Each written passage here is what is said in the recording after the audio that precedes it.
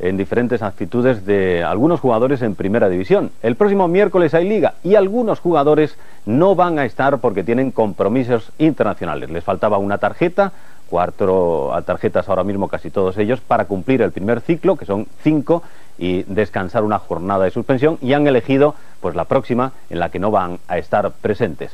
Vean ustedes cómo se persigue al árbitro para que por favor le saquen a uno una tarjeta. Popescu, que tiene que jugar el miércoles con su selección de Rumanía. Tarjeta amarilla, muchas gracias, señor colegiado.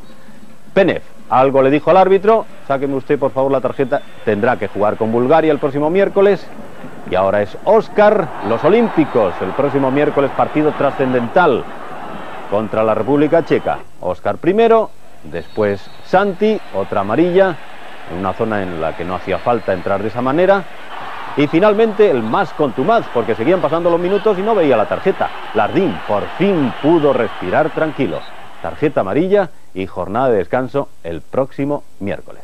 Comencemos ya rápidamente a repasar lo que ha dado de sí la, la jornada y vamos a comenzar con ese partido que acaban de ver ustedes, empate a cero entre el español y el Deportivo a pesar de que tuvieron múltiples ocasiones. Quienes sí aprovecharon sus ocasiones fueron los jugadores del Rayo Vallecano. Tercera victoria consecutiva, 2 a 1 ante el Racing de Santander, pero siempre lejos de Vallecas. Y en Anoeta, empate a un gol, un Real Madrid muy diezmado. Llegó diezmado y allí se quedó con menos jugadores. Van a ver ustedes cómo charlan el entrenador Arsenio y su segundo García Remón, porque allí se enteraron que Sandro, que se había sumado a la expedición del Real Madrid, no podía jugar porque había estado enfermo con algo de gripe durante toda la semana y había tomado un medicamento que podía dar positivo. Así que Sandro se tuvo que ir a la grada y el Real Madrid con menos jugadores que nunca. Al final, empate un tanto y un partido que no pasará a la historia. El Madrid cierra filas y deja a Raúl en la delantera. Con jugadores de este calibre a veces es suficiente. Raúl se queda solo ante Alberto en el minuto 18. La Real Sociedad no encuentra espacios ante un eficaz Madrid. Minuto 32. Alcorta jugado con Raúl, este con Laudrup. Y otra vez Raúl, que marca el 0-1. Raúl supera a Loren y remata gol la certera jugada de su equipo.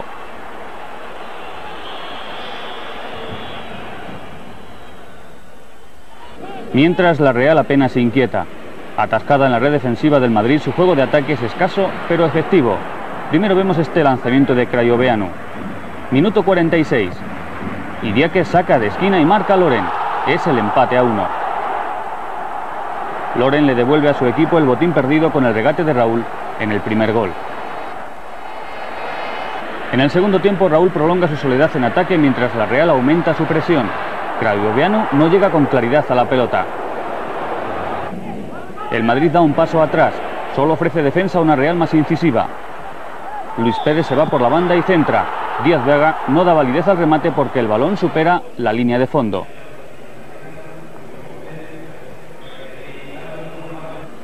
A continuación, Carpin remata de cabeza. Los primeros apuntes ofensivos del Madrid llegan al filo de la media hora y en disparos de hierro. Primero en el saque de falta y después en este remate. En el bando local destaca Luis Pérez. Aquí llega al centro y remata Pur. Pudo marcar la Real Sociedad el 2-1, pero Loren en el saque de esquina no tiene precisión en el remate. Al final, empate a uno. No pudo la Real con un Madrid reservón y conformista hasta el último detalle. Sustituido Raúl, los madridistas acabaron el partido sin delanteros. Pocas cosas dio de sí este mal partido con un español espeso en juego ofensivo y con un Deport con ausencias de lujo pero muy bien puesto en el terreno de juego, especialmente en defensa. Dirigió la contienda al canario Rodríguez Martel, que estuvo regular.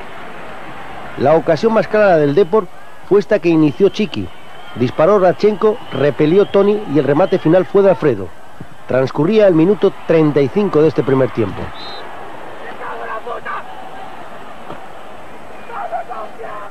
Una buena jugada de Alfredo la concluyó Rachenko creándole problemas a Tony. Y antes del descanso, Liaño despejó con apuros el chut de Urzáez. El segundo tiempo fue mucho peor que el primero. En el minuto 47 el colegiado no dio el gol de Herrera por falta previa a Liaño. Y Lardín vio la tarjeta que necesitaba para completar su ciclo. El empate en Sarriá fue justo a tenor de los méritos que hicieron unos y otros.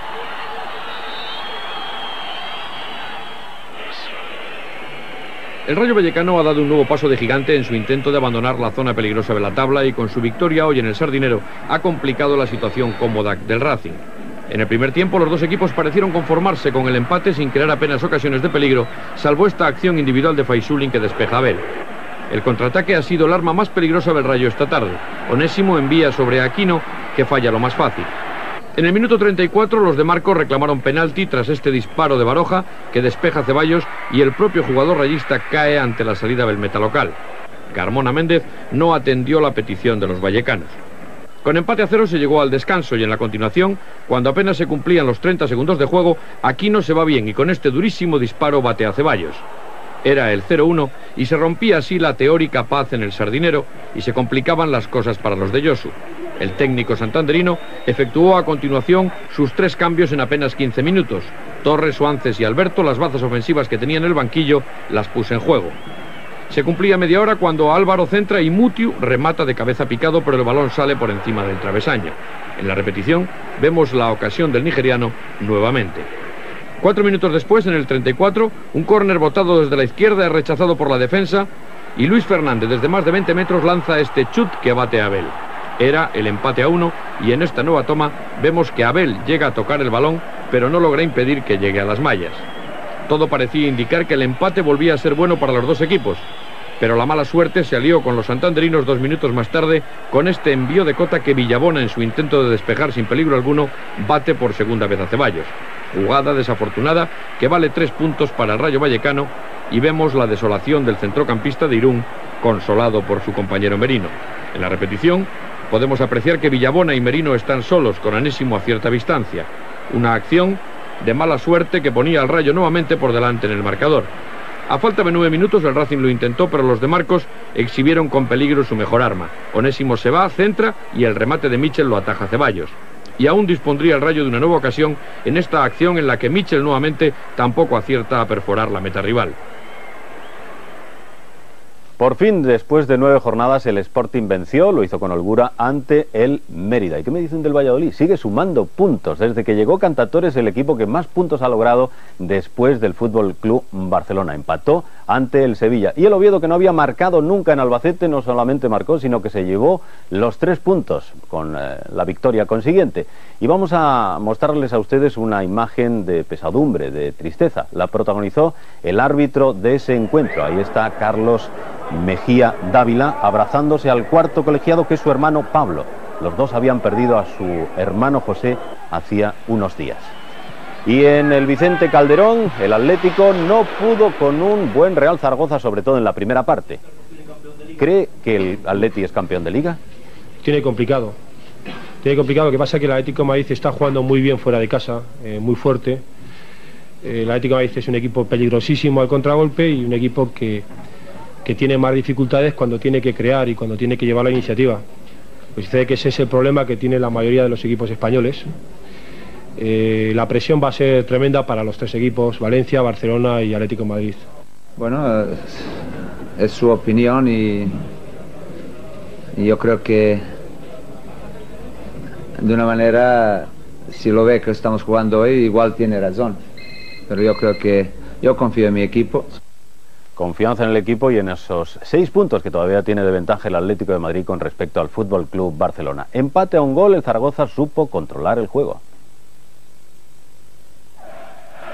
Para el Atlético de Madrid jugar en su propio estadio se ha convertido en un obstáculo añadido. Hoy no pudo alegar como excusa ni el mal estado del césped ni una actitud cicatera del rival, porque el Zaragoza, sobre todo en el primer periodo, buscó con descaro a la portería de Molina, que a los tres minutos sufrió el primer susto en esa ocasión desaprovechada por Dani el líder mostró importantes carencias ofensivas, como esta inmejorable oportunidad de gol que desperdició Caminero. El internacional rojiblanco tuvo una tarde muy gris. A los ocho minutos del electrizante comienzo de partido, Gustavo Poyet volvió a llevar la intranquilidad a la portería local. Intranquilidad que adquirió mayor rango cuando Moriente solo ante Molina llegó a acariciar un gol que evitó el portero rojiblanco. Pantic, el más destacado del Atlético de Madrid, acercó el peligro hasta Bellman, pero Kiko no llegó a tiempo para el remate. Y de nuevo jugada con Pantic y Bellman como protagonistas, se lució el portero. Y al filo de los 30 minutos, el mejor fútbol de Zaragoza encontró su recompensa con el gol del Internacional Sub-21 Morientes, el delantero visitante culminó un preciso pase de Santi Aragón que quedó reflejado en el marcador. 0-1. Pero tan solo dos minutos después, el colegiado señaló penalti por falta de cuartero a Kiko en el área maña. Penalti que Pantix transformó en el gol del empate pese al desesperado intento del guardameta zaragocista por evitarlo. En la reanudación, el Zaragoza mostró una imagen muy conservadora, pero el Atlético fue incapaz de batir a Bellman, que en esta jugada impregnó de suspense un flojo disparo de Panti. En los cinco minutos, Caminero dejó patente que este no era su día. El líder, también desde la lejanía, buscó el remedio a sus males, el disparo de Simeone. El mejor argumento atacante del conjunto madrileño estuvo en Panti, pero sus remates encontraron un obstáculo insalvable en Bellman. La única ocasión de los maños en todo el segundo tiempo fue desbaratada por Solozábal. Al final el líder dejó escapar dos importantes puntos ante un Zaragoza que acabó con 10 jugadores por expulsión de García San Juan.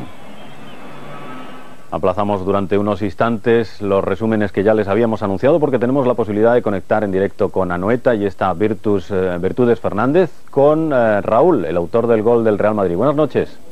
Buenas noches, Matías. Pues efectivamente, como tú dices, nos encontramos aquí en la sala de prensa del Estadio de Anoeta y a mi derecha se encuentra Raúl, el jugador del Real Madrid que ha logrado el único tanto para, su equipo. Raúl, un punto a estas alturas del campeonato realmente no es mucho, ¿no? Bueno, no es mucho, pero, pero es positivo, ¿no? Lo importante no era perder y, además el equipo en la primera parte pues, ha, jugado un, buen fútbol y bueno, salimos contentos porque estamos todavía cerca de, de, los puestos de UEFA y ahora pues a ver si tenemos esta semana un poco tranquila y conseguimos el miércoles una victoria que para nosotros sería importantísima. ¿no? Tenéis que acercaros a los puestos de UEFA y lo has hablado. En el primer tiempo habéis estado mucho más asentados sobre el terreno de juego y en el segundo la Real os ha dominado prácticamente.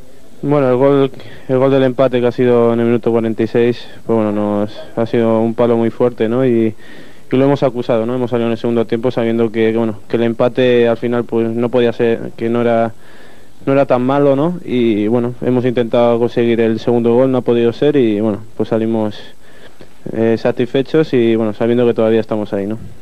Raúl, buenas noches, le hablo desde Madrid. ¿No se siente usted un poco náufrago allí arriba, solo, en estos últimos encuentros? No, bueno, el, equipo pues está intentando tirar adelante, lo que pasa que, que bueno, no estamos con la con la inspiración de, otros partidos de, la otra temporada, ¿no? Pero, pero bueno, toda la gente está intentando luchar y, y bueno, la pena que, que no nos está acompañando un poco la suerte, ¿no? Eh, después de la derrota en Turín, eh, ha habido algún jugador de la plantilla del Real Madrid que ha dicho que se les ha maltratado, que están ustedes muy abandonados. ¿Tiene usted esa sensación? No, bueno, yo estoy muy, muy contento con, con el trato del club, con con el comportamiento de, todos los jugadores y del cuerpo técnico y bueno, lo que hay que hacer ahora en estos momentos es estar más unidos que, nunca, eh, trabajar y, bueno, y, a ver si los resultados nos acompañan en los próximos partidos. ¿Y, ¿Y, los anuncios de posibles fichajes, ya casi seguros fichajes para la próxima temporada, cómo caen en el seno de la plantilla? Bueno, pues a lo mejor hay personas que no, no les gusta, ¿no? Pero bueno, aquí los, la plantilla es muy larga y todos somos profesionales, ¿no? Y, y los que sigan y los que no sigan están intentando que, que el equipo salga adelante y, que, bueno, aquí lo, somos todos grandísimos profesionales y vamos a luchar la camiseta Real Madrid hasta el último partido de Liga, ¿no? Gracias Raúl, gracias Virtudes, buenas noches. Buenas noches. Seguimos entonces con nuestro repaso, nos habíamos quedado en puertas de ver el Sporting Mérida. Pese a que pudo golear, el Sporting sufrió para ganar al Mérida. Es el sino del equipo en esta campaña. Madrugaron los gijoneses a golear. Había transcurrido minuto y medio cuando Julio Salinas aprovecha el rechace de Leal a punterazo de Giner para colocar el 1 a 0 en el marcador y acercar a una afición que estaba algo distante. Han visto, como no, a Julio Salinas enviando de cabeza el balón a la red. Después los de Novoa gozaron de ocasiones que no materializaron, convirtiéndose el ruso Igor Rediakov en el protagonista principal por lo bueno, con jugadas de gran clase, y también por lo malo, en la faceta rematadora. han visto cómo Leal se luce una vez más. Igor Leviakov recibe el pase de Pablo. Golpea con fuerza pero alto. En el minuto 16 empata el Mérida. Mario trata de regatear a Guerrero que le lleva el balón. Recibe el apoyo de Simbal, primer toque para Prieto que envía a la red, sin que reaccione el meta Ramón ni pueda hacer nada Giner. Era el empate a uno. Poco duraba la alegría a un Sporting que era muy superior al Mérida. Tienen la acción repetida, el buen toque de Simbal y el remate magnífico de goleador de Prieto. El árbitro García Aranda estuvo mal. La falta de aciertos trató de corregirla con un exceso de autoridad que se reflejó en 10 tarjetas. El castigado ahora es el Meta Leal. El 2 a 1 se gesta tras este saque de banda, minuto 10 de la segunda. Lediakov busca puerta y envía ese pase que todo delantero espera. Dani Bouzas amarra el gol pese al esfuerzo de Leal que trata de despejar con el pie. En la repetición se detallan los gestos técnicos de Lediakov y el gol de Bouzas. El mejor hombre visitante fue Leal. En el minuto 18 cambia la mano para desviar a córner el remate de Avelino. Ahora las jugadas polémicas que pillaron muy lejos al colegiado. La primera sobre Julio Salinas, minuto 21, el empujón de Montparlet. La segunda tras ese pase largo de Toribio hacia Simbal. El jugador emeritense centrado por Velasco. El colegiado García Aranda pita falta a favor del Sporting. La falta fue a favor del Mérida, aunque fuera del área. En el 39 Lediakov intenta desde lejos y con Leal fuera de puerta el gol. El balón roza el poste y va al lateral de la red. Y después de otras oportunidades, el propio Lediakov, con mucho campo por delante, cubre el balón ante Simbal, espera que se incorporen compañeros para decidirse por Mario y el chaval apura bien y remata la cepa del poste. Era el 3 a 1, minuto 88. El Sporting había necesitado nueve partidos, dos meses y medio para ganar un encuentro que supone escapar de la zona de promoción. El Real Valladolid apostó por la presión en el centro del campo y se llevó un empate del Sánchez Pizjuán. Fueron escasas las llegadas de los pucelanos, pero siempre peligrosas, como esta de Quevedo. El Sevilla vivió del juego que pudo crear por la banda izquierda. Allí las apariciones de Moya fueron un presagio de gol para los hispalenses, pero ni Pepelu ni Marcos pudieron con César. El fútbol creativo, pero intermitente del Sevilla, consiguió continuidad cuando Zucker y Moya entraron en acción. Jiménez, tras recibir del croata, cruzó un balón que no supo despejar el Valladolid. Zucker, con calidad, hizo con un toque de lujo lo demás. El 1-0. Un error de marca desequilibraba el partido. A los 14 minutos de la segunda parte llegó el empate obra de Iván Campo, en un fallo colectivo del Sevilla. Un gol que devolvió a sus orígenes tácticos al Valladolid. La respuesta del conjunto hispalense llevó la firma de Davor Zucker, traspase de Gabriel Moya. El Valladolid se atrincheró, aunque sin perder el dibujo táctico, y dos minutos más tarde Zucker volvió a fallar una ocasión aún más clara. A la desesperada, Víctor Espárrago optó por colocar a todo su banquillo atacante en el terreno de juego. Y en una internada por la derecha, el Sánchez Pizjuán pidió penalti en ese balón colgado por Santaella. En la repetición se aprecia la nula voluntad por cortar el balón. Agobiado por la presión sevillista, el Valladolid se proyectó muy poco en ataque. Algunas apariciones de Fernando y esa llegada de Raúl. Carlos ofreció un lujo en los últimos minutos para deshacer un empate que adorna el trabajo de Cantatore en el banquillo del Real Valladolid. Iñaki Saez, que hoy dirigía el primer encuentro al Albacete en su estadio, sigue sin ver ganar a su equipo. Cuando más lo necesitaba, los manchegos han acabado con una tradición. El Oviedo, que no había puntuado las cuatro visitas anteriores, se ha impuesto hoy por un gol a cero. Dominio alterno en el primer periodo y ocasiones de gol para cada equipo. Salazar pudo inaugurar el marcador. Por parte asturiana, en el contragolpe era Carlos quien con un disparo con la izquierda ponía en apuros a Balaguer. En un partido de ida y vuelta fue Luna el jugador que mejores y más claras ocasiones de gol tuvo. El delantero del Albacete superaba la salida de Mora y mandaba el balón al poste. El despeje final fue de Onopco. Incisivo pero sin suerte, era de nuevo Luna quien en esta jugada disparaba con la izquierda demasiado cruzado. A pesar de las oportunidades, no se movió el marcador en el primer periodo. Tuboski buscaba el gol y Balaguer, concluyendo este tiempo, resultó lesionado en un salto con Carlos y su compañero Luna. Marcos salió en la segunda parte y se estrenó resolviendo con acierto una situación apurada en tiro de volea de Carlos. Entre tanto, Luna seguía sin ver puerta. En el uno contra uno, Mora le ganaba la acción. En el encuentro hubo dos expulsiones por doble tarjeta. El jugador del Oviedo, Manuel, fue el primero en abandonar el terreno de juego, según le indicaba Mejía Dávila, y con 10 marcó el Oviedo. Oli pasa a Duboski, que bate a Marcos. El eslovaco acababa así con una tradición que duraba cuatro años. En el minuto 26, Luna reclamó con penalti una acción de Oli. En espera del centro de Alejandro, Luna cae al suelo ante el acoso del delantero oviedista. Mejía Dávila no la consideró como una acción punible. Coco fue el jugador expulsado por parte del Albacete. Por esta entrada vería la segunda cartulina amarilla. El Albacete pudo empatar casi finalizando el partido, pero al buen tiro de Skies respondió perfectamente Mora. El partido finalizaba con victoria asturiana. Los manchegos no ganan ni con entrenador nuevo y están en puestos de promoción. Nos quedan por ver grandes encuentros, 15 goles en tan solo cuatro partidos. Destacaremos, por supuesto, la victoria contundente, la más contundente a domicilio, la del Valencia 4 a 0 en Compostela. Todo el equipo ha estado soberbio. El de siempre, ya saben ustedes, y Mijatovic, y ese hombre que se va cojeando, no se asusten, es un bromista. Viola, cuando vio que le iban a cambiar, pues se fue de esa manera, pero no le pasa nada. Al que le pasa y mucho es que está viviendo días felices, es Amor. Fue quien inauguró el marcador. Todos son elogios para Amor. Y Cruyff habla así.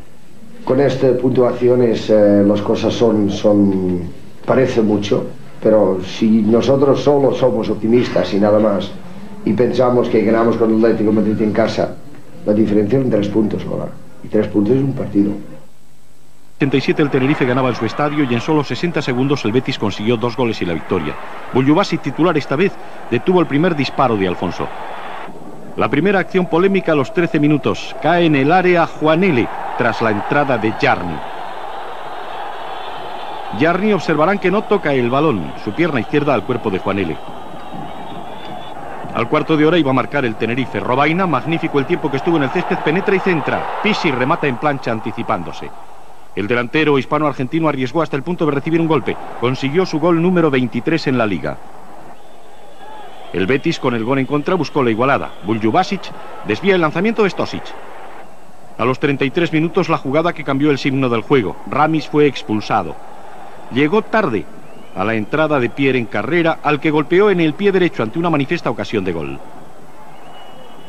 En la segunda mitad adelanta su posición el Betis. Cañas centra y obstaculizado Buljubasic remata Stosic. César Gómez salva bajo los palos.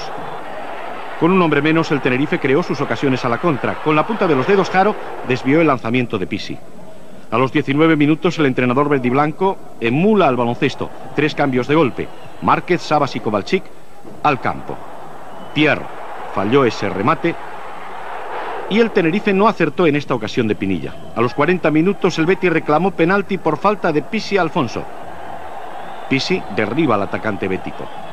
El gol del empate a los 42 minutos. Juega Alfonso. Recibe Sabas. Se revuelve y gol. Su quinto tanto en los últimos cuatro partidos. Controla con la izquierda y remata con la derecha libre de marca. Y un minuto después el gol de la victoria bética. Inicia Jarni y apuntilla el polaco Kowalczyk. El entrenador Heikens había acariciado el triunfo. Fue la cuarta victoria consecutiva del Betis. Un paso más hacia Europa ante un rival inmediato en la clasificación. Pese a la salida decidida del Athletic, que con Guerrero recuperado pudo marcar en los primeros minutos, el Celta completó otro buen partido en Balaídos donde entusiasma domingo tras domingo. Los vascos, con Amorortu en el banquillo, mejoraron en líneas generales pero siguen lejos de lo que son capaces de hacer. Además de los tres goles, el Celta dispuso de numerosas ocasiones, en especial esta de Merino a los 18 minutos. Buenas combinaciones de Eusebio, Merino, Sánchez permitían las llegadas de Gudel.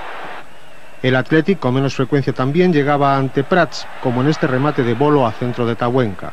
Y en el minuto 26, primer gol del partido, jugada de Eusebio, Verges y remate final de Ratkovic a la red de Valencia.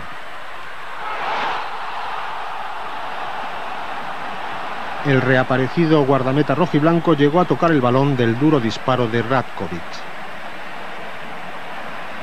En los últimos ocho minutos de la primera parte, el resto de goles, saque largo de Prats, un arma de buenos resultados, y toque de Gudel y sorprendente fallo de la Larrazábal ante Sánchez que dejó al delantero la ocasión pintada. Un gol gemelo del que Bebeto marcó al Zaragoza el pasado jueves.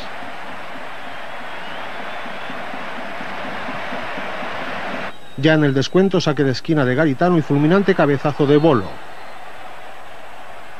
Muy bueno fue el movimiento de Óscar Vales y Guerrero y del propio Bolo que encontró la mejor posición. Pero el Celta recuperó la ventaja un minuto después en otro saque de esquina que no supo despejar Valencia. Merino a bocajarro estableció el 3 a 1 que sería definitivo.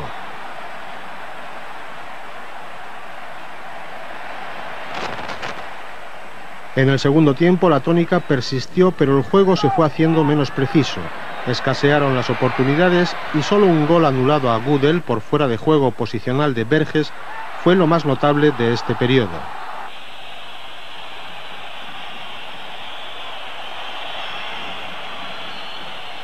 Echeverría remató sin suerte lo más peligroso del Athletic en este segundo tiempo.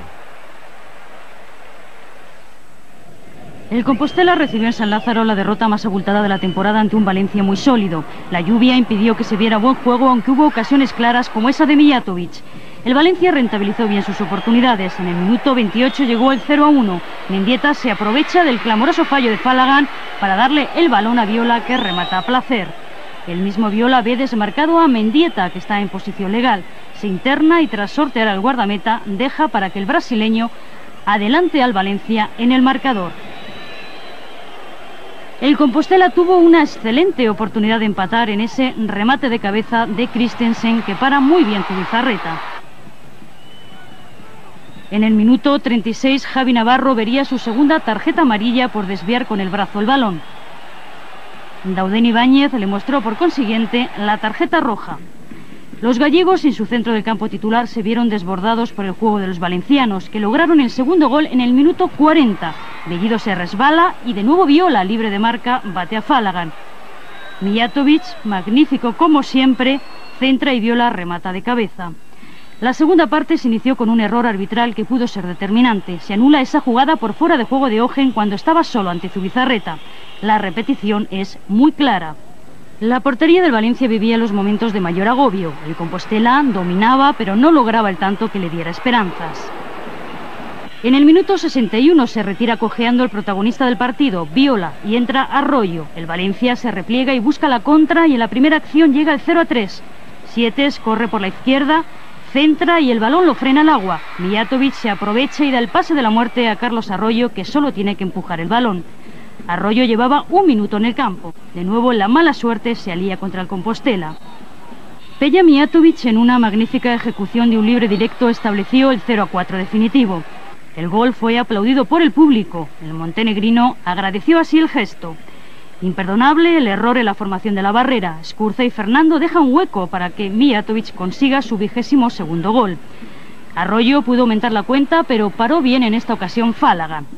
El Compostela sigue cayendo, ya son cuatro los partidos consecutivos perdidos, todo lo contrario que el Valencia que con una gran solidez no pierde de vista al Barcelona. El encuentro entre Salamanca y Barcelona tiene un comienzo vibrante. No se lleva medio minuto de juego cuando Claudio tiene la primera ocasión que ataja a Busquets. A los cuatro minutos llega el 0-1, centro de allí que toca Oscar y Amor, totalmente solo, logra el primer tanto del partido. Amor parece que está en línea con la defensa en el momento del pase. Figo rompe al Salamanca por su banda. De nuevo Amor es el que remata con buena intervención de Aizpurúa. El encuentro tiene un ritmo tremendo. A los 11 minutos empata el Salamanca. El centro es de Stinga y el remate de Medina.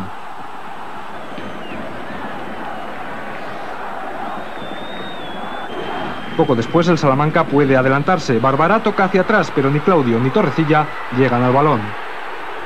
Por contra, el Barça marca a los 19 minutos. El centro es de Celades y el espléndido cabezazo de Rouget. La defensa salmantina vuelve a fallar por el centro. Y a la media hora sentencia el Barcelona. El pase es de allí para Figo y el centro del portugués es rematado ahora por Oscar. Tres balones por alto al centro de la defensa charra definen el encuentro. Y todo ello en 30 minutos de juego. A partir de aquí el Salamanca se va hacia adelante, pero le falta acierto en el remate. El centro es de Sito y el cabezazo de Claudio. En el segundo tiempo se acentúa la presión salmantina. A Torrecilla se le va por muy poco el remate. El Barça, seguro de su triunfo, se limita a contener. Y solo Figo, tras fallo de Josema, inquieta a Izpurúa, que realiza una gran intervención a disparo del portugués. Otra vez a balón parado crea peligro la Unión, de nuevo con Torrecilla como protagonista. Detiene con fortuna Busquets. El Salamanca busca sin suerte el gol. El remate del Solar a centro de Stinga es la última oportunidad de un equipo que continúa último en la tabla, mientras el Barça pone más emoción a la liga. El jugador más valioso de la jornada tenía que salir del equipo que más ha brillado, el Valencia. Nos quedamos con el goleador y bromista jugador eh, Viola. Y en cuanto al mejor tanto, ha habido grandes remates de cabeza y ese es el gol que hemos elegido, un remate de cabeza. Nos quedamos con el acierto y la valentía que demostró Pizzi para el Tenerife.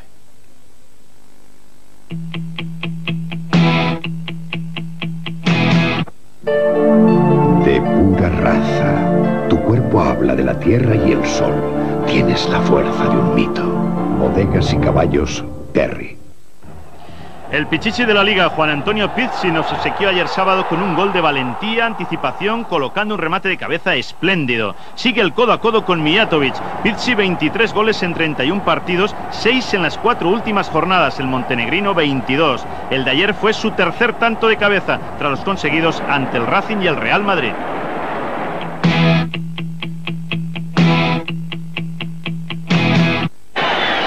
Paulo Sergio Viola está en racha goleadora. La lesión de Galvez le dio la oportunidad de conseguir la titularidad y el brasileño disfruta por fin en el campo. Tres jornadas consecutivas marcando y aportando su calidad en esa carrera vertiginosa del Valencia de Luis Aragonés hacia los puestos de honor.